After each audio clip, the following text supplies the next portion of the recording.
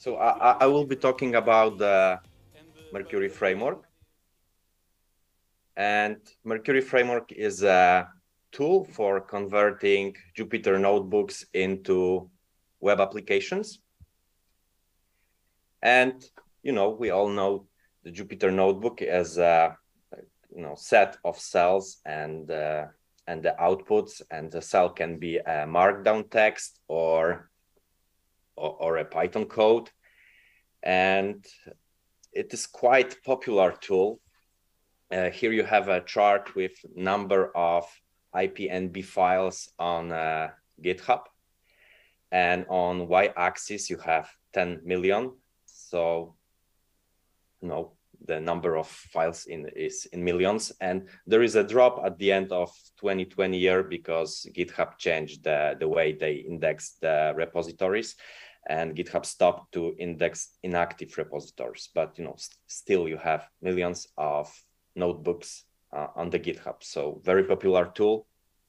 And the, the, the Jupyter notebook is very popular in uh, for scientific computations, for data science tasks, for uh, machine learning, and for quick quick prototyping.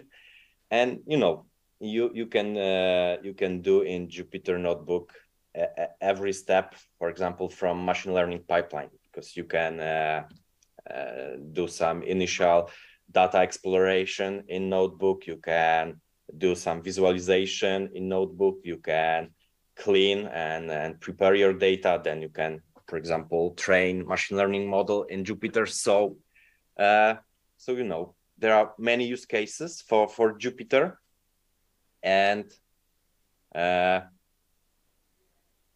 but there, there are also many surprising use cases for, for Jupyter. So for example, uh, you can create a full Python package in, in Jupyter notebooks. There is a NBDev uh, package for, for this, and the, the, it will help you to create documentation in Jupyter, to publish uh, your package from Jupyter, and uh, and you know, it it all can be done in in, in Jupyter. You can create book books with with with Jupyter. There is Jupyter book project for this, and for example, you can write blogs with Jupyter. There is a Nikola package for this, and you know you can ask yourself what what is the most important part of the notebook?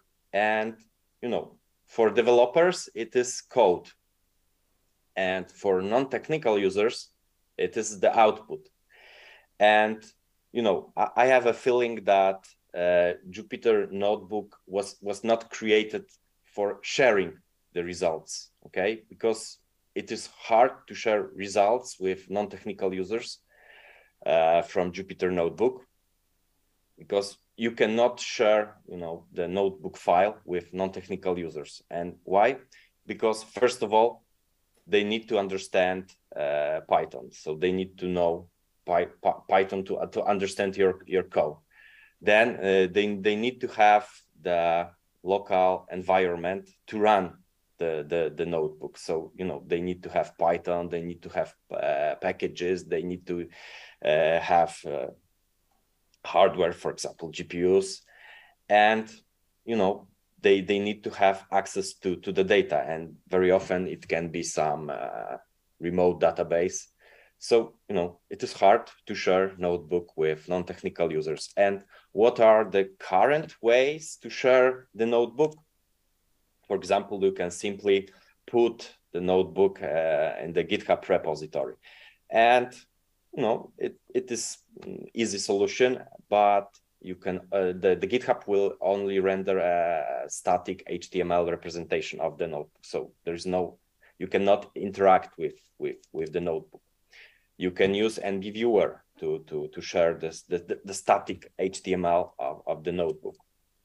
Or you can use MyBinder, but you know, it, it is not solution for uh, non-technical users. It is rather solution for tech-savvy users because MyBinder will, will launch for you a full Jupyter lab uh, with all your code. So your end user needs to understand the Python. Uh, you know there are plenty of online services that uh, that can set uh, set up for you the, the the environment, and they come with a lot of packages already installed. But still, you need to know your end users. They they need to know the, the Python to to use them to use them with your notebook. Uh, there is amazing program called NB Convert for converting uh, notebooks into HTML or PDF files, but uh, you know it is hard to to to update such a notebook because if you if you do some changes, then you need to export this to HTML or PDF and send again a uh, static representation of the, the of the notebook. And if you would like to have uh, uh, okay. Uh, if you would like to have a, a, a, interactive representation, then you need to write an application for this. But I will talk in this in the next slide. Uh, you can also create the PowerPoint Power, Power, PowerPoint presentation, but and you know this this this form of presentation of the results is very uh, very easy to understand for non-technical users. Then they, they like presentation, but uh, creating presentation from Jupyter Notebook outputs, you know, requires a lot of manual work from from the developer, from the, the data scientist, and uh, presentations are stuck. Okay, so you can create PowerPoint presentation from your notebook. And if you would like to have, you know, interactive results, then you you are forced to to rewrite all your all your uh, results from the notebook into some into some uh, UI or web framework and you know there are plenty of uh, only Python web frameworks to to to to to show your results as an interactive web app. So, for example, there there is IP widgets with Voila, Plotly, Dash, Streamlit, or or Panel, but all of them re- requires from uh, require from you to write some user uh, UI code. Okay, so they they cannot turn your notebook uh, into web app without you know changing uh, uh, changing the code, and that's why I created uh, a Mercury. And Mercury is a is a tool for converting uh, notebooks into web applications, and it can be dashboards, reports, web apps, slides, or even uh, REST API. And example, and uh, this this presentation is example of of uh, app made with Jupyter Notebook and Mercury. And thanks thanks to thanks to this, for for example, you can change the the slides during the presentation. So for example, you have a string hello Dublin here and uh, the, the greeting string is, is a variable in the Python and I can change change this during the during the presentation. I just provide new value and, and click run and uh, the, the, the whole uh, presentation is recomputed re recomputed during the, the show and you can even update chart so for example, here is a chart with a, a lot of blue, blue dots. And if I would like to have more dots with different color, for example, orange, then just click run. And the whole presentation will be re recomputed. And after after computation, you you will have the, the, the result. And you know, you can conti continue. And how to use Mercury.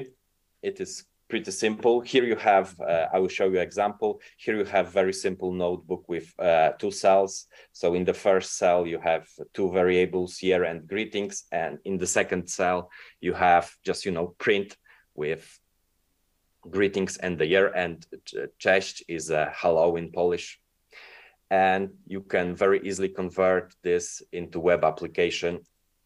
Uh, so you, you need to add YML header and here you have an example of YML header. It, it, it needs to be inserted uh, uh, uh, at the top of the notebook. And here you have the title and description of your application. You have a parameter show code set to false, so we will hide the code. And we have uh, two widgets, two params, parameters, year and greetings. And you see that the, the name of the widget is exactly the same as a as a variable uh, name in the code and the year is a slider with label select year and the value 2022 and the greetings greetings is a select select greetings label and the value is Cześć and th there are also other choices. And you know you you need to install mercury and can be easy done with with pip. And then you just run mercury run uh, in the directory uh, with with your notebook. And you will have a local server running. And your user can uh, you can change something uh, in the widgets and click run and the whole notebook will be recomputed and only output will be showed to you. And uh, as i said the the the, the name of parameters must be the same as the variables that would like that you would like to control with with the widgets. And uh, the YML uh, configuration is very simple. In this slide, you, you have almost all parameters that can be included in a YML header. So you have title and description of the application. You have show code parameter to, to decide to show or hide the code. There is a share parameter to make the application uh, private there is output uh, parameters. So your, your app can be app, slides, or REST API. There is a schedule parameter that accepts the cron tab string, so you can um, set automatic execution. There is a, a notify uh, parameter, so you can send uh, executed notebook to, to, to to some users and there is a params so so uh, in the params you define the widgets and currently we have six widgets implemented text select uh, slider file numeric and uh, checkbox. And you know my favorite is file because mm, you can easily create the web application with file upload widget and your end user can upload file with with with some data and your notebook will prep will process the the data and and show results for for end user. And you know you can very simply do this it is only three lines of yml configuration so very simple.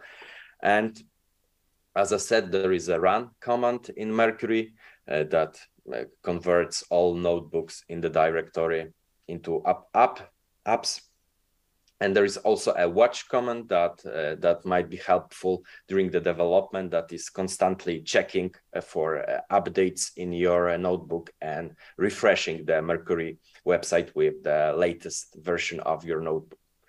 So might be useful for uh, for development. Okay and some features of of mercury.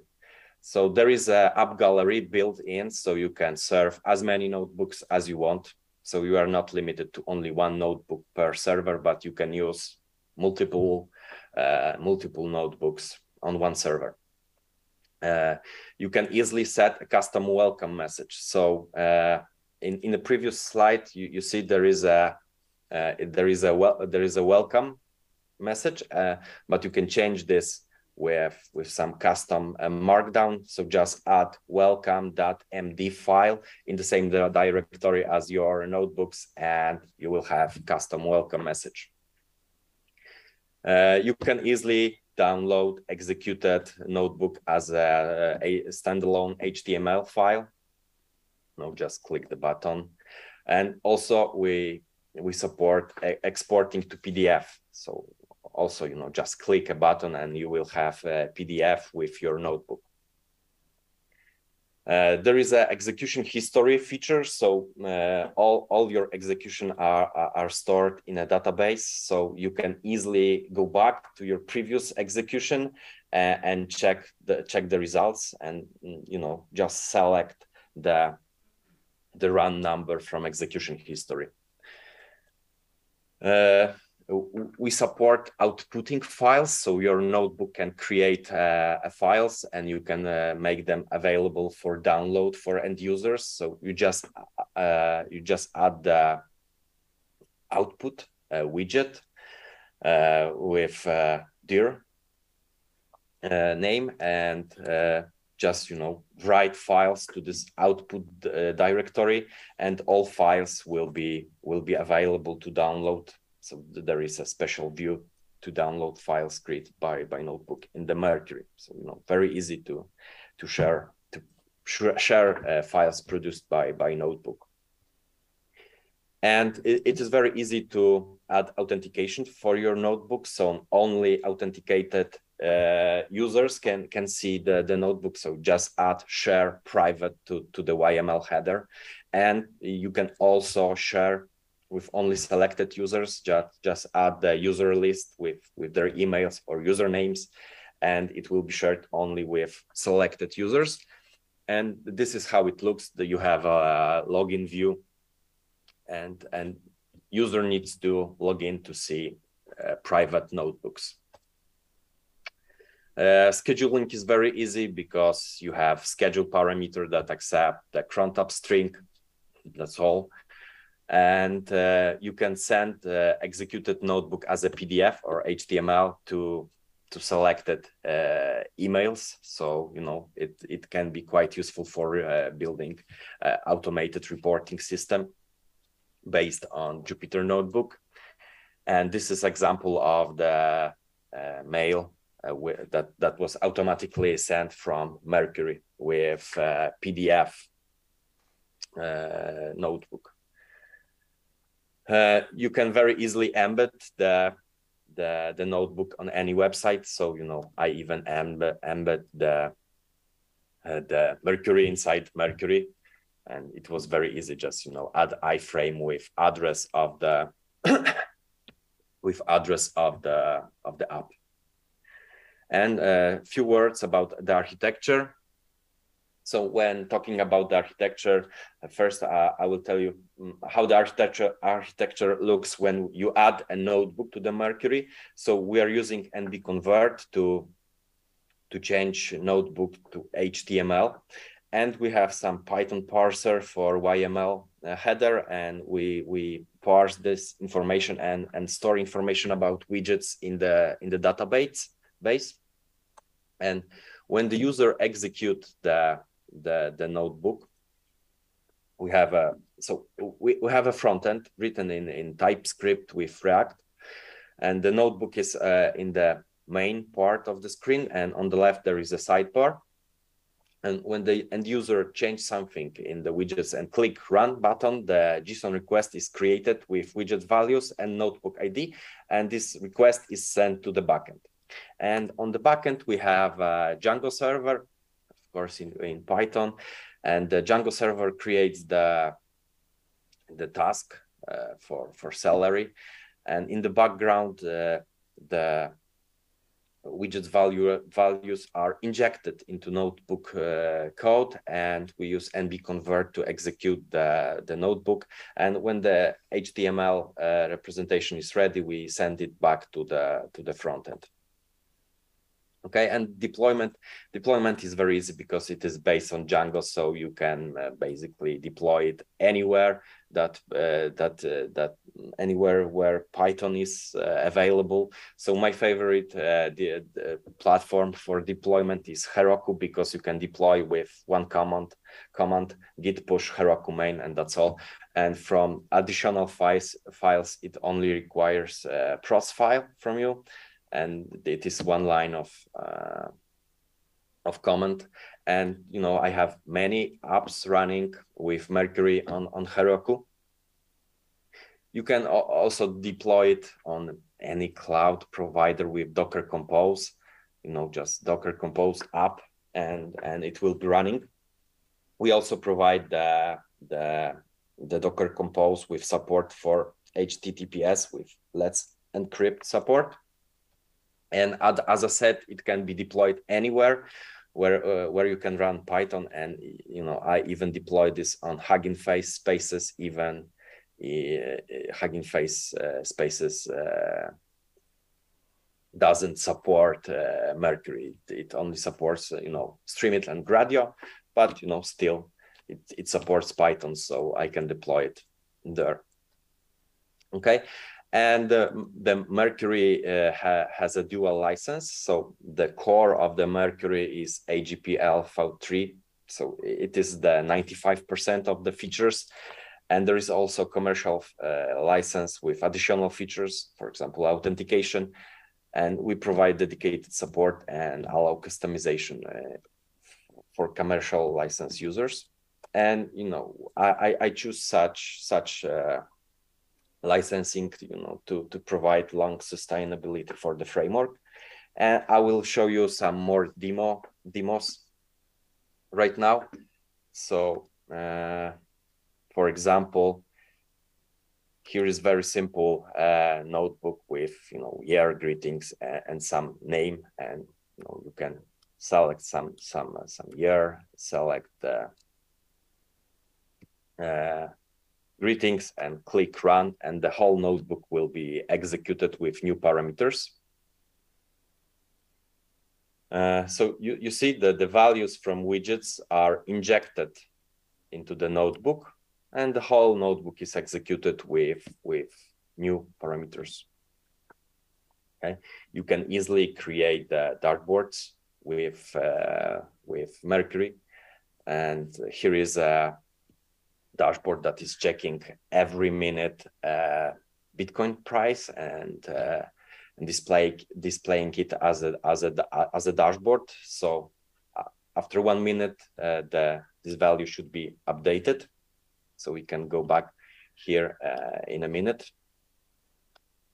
Uh, here is another example of, of the notebook, a, a, little bit more complex. this this notebook is doing the uh, get request to the Binance uh, exchange to check the uh, Bitcoin price. And you know this this notebook is is running with show code set to true. So you you you see the the the code of the notebook, but I have the, the, the same notebook with show code set to false.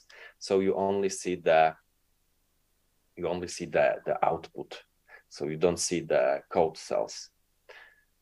Okay, mm, you can go back to the to the dashboard and no, it's not updated. So we will need to wait, but let's let's go to the final slides.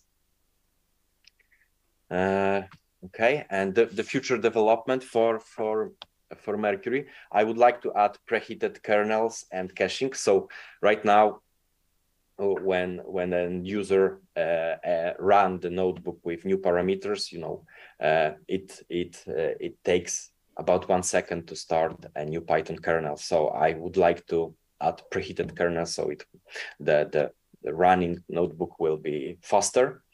And I would like to add caching because you know many times you you for example you can run a notebook with large neural network or or you will run the notebook with large data set and then you know you will need to and uh, you will need to wait every time you execute the the, the notebook. But I, I, think the caching can be very easily added in the current architecture. I would like to add the support for the plain python files. So not only notebooks can be converted to web apps but also python files. I would like to add support for other languages for example julia should be pretty simple to to add. I would like to I would like to add better lay, layout for outputs because you know right right now you have cell below the cell, and you know it will be nice to have some columns, for example, to put uh, charts on on different columns. And I would like to provide a cloud offering with one-click deployments because not all users would like to set up their own server. Okay, and that, that's all. Thank you. That's that's uh, some li link uh, link for Mercury, GitHub, uh, link for for this presentation, and the whole presentation is running on Heroku at uh, europython.herokuapp.com. Uh, that's all. Thank you.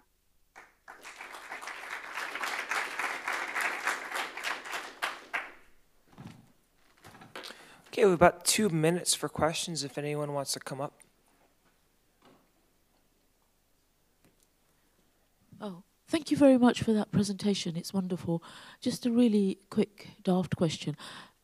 I have um, notebooks on Google Colab, can I use this to export it to PDF and HTML? Yes, I, I think yes, but you know you cannot do this uh, directly from Colab, but you you will need to download Colab files, Colab notebooks to, to have them locally, and then you can use Mercury, you know, to serve them. Thank you. Um, how would you handle um, the fact that different notebooks have different um, requirements? So in terms of Python libraries, when you're, you're when you're hosting all of them on the same server. Great question. Great question. So right now, uh, right now uh, there is only, let's say, one kernel handled by, by Mercury, but maybe in the future uh, I will add support, you know, for running multiple kernels. But right now you you have only one kernel per per per, per server. So uh, all notebooks that are uh, served on the single server, they, they all need to have, you know, the same requirements. All right, one last quick question. Hi, great talk. Looks cool. Um, so you mentioned that you could go back in time and look at previous run numbers. If you had like large notebooks, uh, does that become a storage issue, or is that something that you need to keep an eye on? No, I, I don't think so. So, what do you mean by large notebook? Yeah, no, I just was wondering, are you storing? So every time you run, are you storing the the, the output of, of those those notebooks physically, and you know, can they start to build up over time if you're running like a new notebook every every minute? Yeah, so I, I- I store e- every executed notebook on the, some hard drive, mm-hmm. on, on some storage, and you know you can easily go back to it. Yeah, okay, yeah, that, that's what I was. I'm sure I understand that. Thank you. Looks good. All right, thank you so much for your talk. Thank you.